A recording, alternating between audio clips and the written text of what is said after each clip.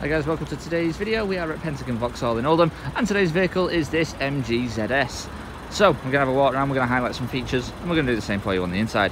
So we're going to start from the front where we do have the LED daytime running lights. Underneath, front fog lights. Around the side of the vehicle we've got your alloy wheels, that chrome trim going under the bottom of the door there. A little bit of protection for the vehicle. Got your chrome roof bars on the top as well.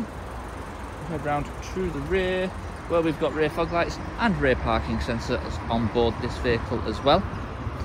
As we then just come down the driver's side and climb onto the inside and we'll show you some of the features in it here.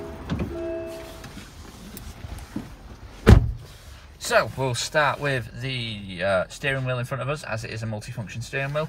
So on the left you've got controls for media and Bluetooth.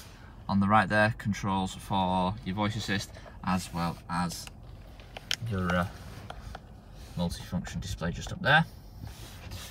As well just behind the steering wheel we do have your uh, cruise control. Electric side mirror controls just there.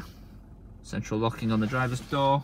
Down on the inside is your electric windows front and rear with the child safety function on the rear windows. Center console is your entertainment system. So around the screen you have got this uh, carbon fiber plastic. Touch screen for your entertainment system, full touchscreen, so we'll just start with that. So you have got FM, AM and digital radio, as well as that you do get your Bluetooth. We do also have as well on board uh, a USB input, which is just down there. And with that, you do get uh, Apple CarPlay as well on board the vehicle. You've got your car settings there, Bluetooth as well on the screen, if you've not got the uh, CarPlay plugged in. Heating controls underneath, which does give us a heated rear screen, and you've also got air conditioning.